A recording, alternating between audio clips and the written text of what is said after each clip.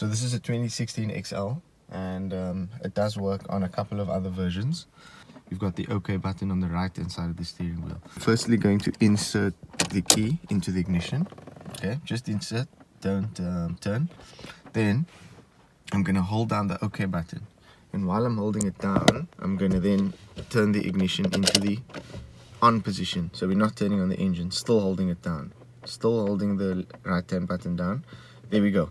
You've got test mode. Use up and down screen, up and down arrows to uh, navigate through the screen. I'll show you, this is actually my favorite one because it shows me the battery voltage. Cool. It'll actually show you live voltage, but let me just go through the menu and show you the, this is the coolant temp, so that's also pretty cool. And then there's actually a, there we go, this is the one I like. So this shows you that all your lights are working on your dashboard.